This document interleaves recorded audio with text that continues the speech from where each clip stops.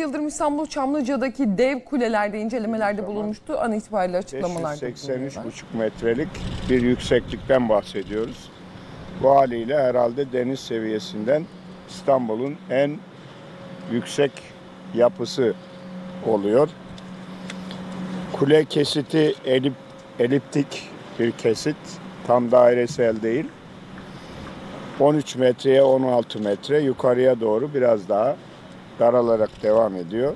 Bugün itibariyle 220,5 metrelik beton kulenin 153 metresini tamamlamış vaziyetteyiz. Geriye 67,5 metre var. Onu da önümüzdeki hava şartları e, bir sıkıntı olmazsa bir ay gibi bir sürede tamamlanmış olacak. En geç 33 ve 34. katlarda seyir terası var.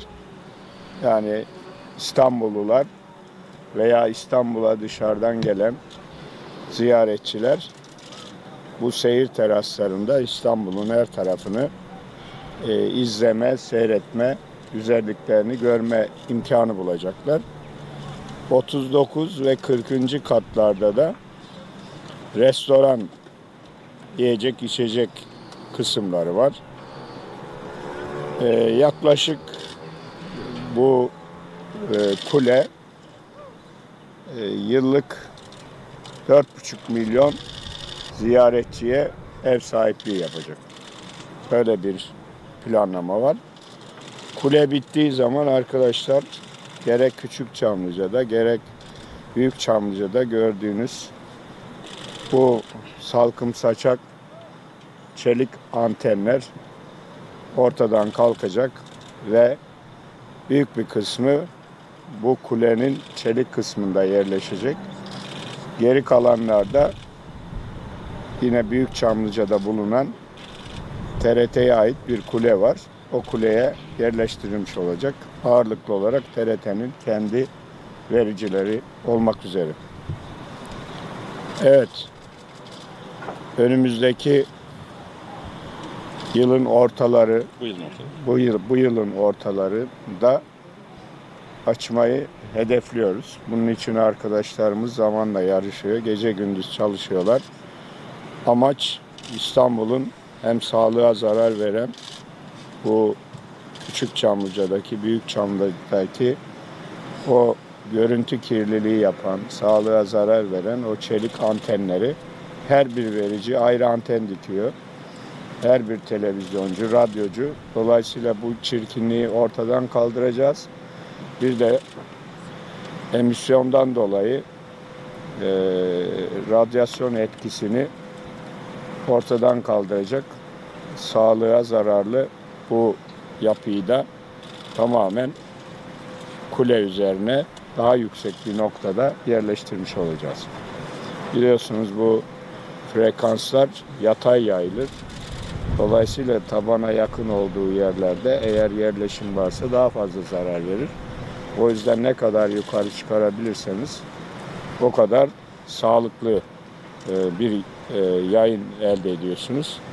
O bakımdan İstanbul'un, dünya şehri İstanbul'un biraz geç kalmış bir projesi. Ama nihayet o da gerçeğe dönüşüyor. Tabii çok yüksek bir yapı. Dolayısıyla rüzgar yüklerine karşı, dış yüklere karşı hesabının kitabının iyi yapılması lazım. İki tane asansörü var. Panoramik asansör, bir de servis asansörü var. Ayrıca olağanüstü veya acil durumlarda da merdivenler, yangın merdivenleri mevcut.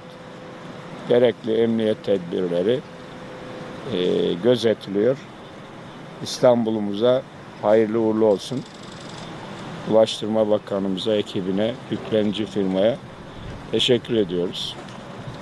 Efendim ne zamana tamamlanması bekleniyor? Ramazan'a yetişecek mi mesela? Evet, Ramazan'ın sonuna doğru açmayı hedefliyoruz. Yani Ramazan bayramından önce inşallah e, açmak için arkadaşlar gece gündüz çalışıyorlar. Çok kolay olmayacak. İnşallah bir aksilik yaşamayız. Her şey yolunda gider. ve bayramla beraber burayı da İstanbulluların hizmetine vermiş oluruz.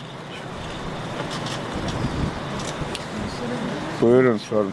Efendim referandum çalışmaları e, bu aşamada nasıl gidiyor? Şimdi bu işi biraz gölgede bırakmayalım. Bu işle ilgili he? bir soru olursa Bununla ilgili sorabilirsiniz ama. Ona ayrı bir açıklama yapalım. Uygun görürseniz. Yani burada belki siz sormadınız ben söyleyeyim. Bazı yayıncılar, analog yayıncılar eee, bize yer kalmıyor falan diye endişe ediyorlarmış. Bu konuda eee, endişeye mahal yok. Yani burada eee, yaklaşık olarak 125 vericiye hizmet verecek. Yani yayın yapan radyo ve televizyona. TRT'nin kendi e, şeyi de var. e, kulesi var. Orada da vericiler olacak. Ama yine de yetmezse İstanbul'un değişik yerlerinde, adalarda 12 tane daha emisyon noktası var. Bu emisyon noktalarına da e, vericileri yerleştirerek yayın yapabilecekler.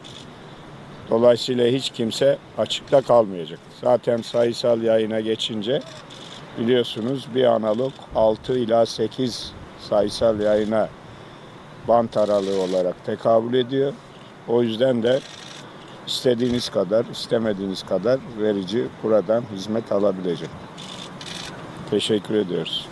Hayırlı olsun İstanbullulara e, güzel bir armağan inşallah vermiş olacağız. Herhangi bir yükseklik korkunuz var mı peki? Hani gittiğinde? Yani e, var. Gel beraber çıkalım. He? Korkun var mı yukarı? Öyle mi? O zaman sen buradan izle bize el sallarız. Yavuz Sultan Selim'de az yere çıkmadınız. Ya efendim, Sultan kuleden. Selim 322 metre. Bu ondan biraz daha az. Hadi bakalım.